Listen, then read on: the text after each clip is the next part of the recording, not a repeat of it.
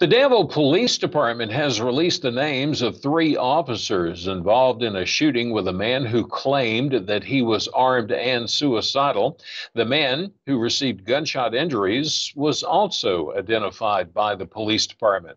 Now, the shooting involved the officers and the man. It occurred on Wednesday, January the 17th, in the 500 block of Apollo Avenue. Shortly after 4 o'clock that afternoon, Danville police officers were dispatched to the area of Apollo Avenue to the report of a suspicious male who was possibly armed and was described as a former employee of a business that was located on nearby Riverside Drive. Officers located the man just off of Apollo Avenue in the parking lot of the Westwood Middle School. Well, according to the police department, for at least 25 minutes, officers attempted to negotiate with the man who claimed that he was armed and suicidal.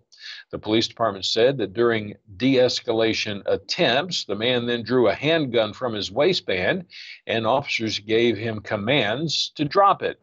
Well, the man reportedly fired the gun in a direction away from the officers before turning it and pointing it at them.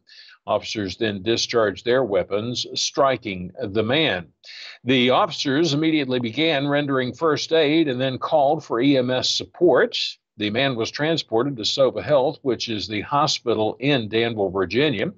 Now, the man involved in the shooting incident was identified by the Danville Police Department as 24 year old Nicholas Bedu.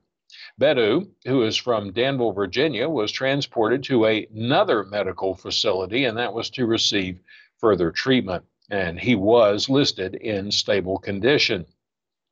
The officers involved in the shooting all serve in the northwest quarter of the patrol division for the Danville Police Department.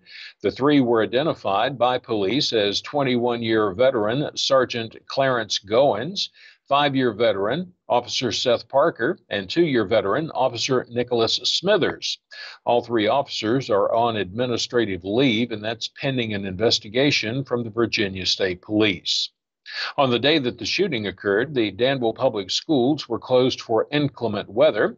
No children or school employees were present on school property.